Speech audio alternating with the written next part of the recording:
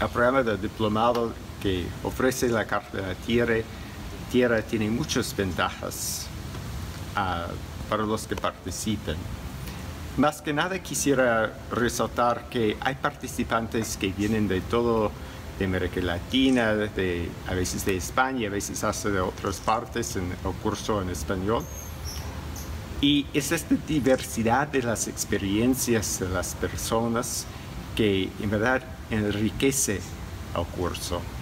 Y creo que sería difícil en, un curso que se hace en un solo lugar encontrar tanta diversidad de experiencias. En cuanto de los temas del curso, son variados, comienzan con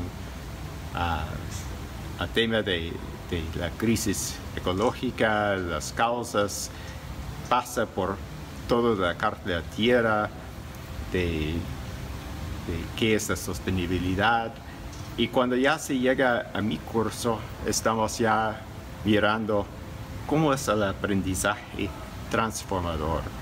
Entonces, no solo saber qué está en la Carta de Tierra, sino cómo aplicar esta ética a la educación. Uh, y en particular en mi curso lo que tratamos de hacer es conectar la teoría con la práctica vivencial de la gente.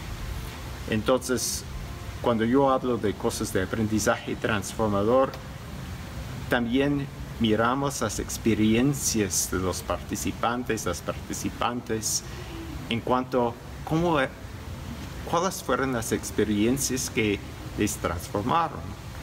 Y a comenzar a ver este, esta conexión entre la teoría y la práctica, la teoría se hace algo con vida, ¿no? Y además las personas van entendiendo sus propias experiencias en nuevas formas. Uh, y eso creo es muy importante para, para personas como educadores de entender cómo en realidad las personas van cambiando, para que puedan tener esto en cuenta cuando van diseñando sus cursos, por ejemplo.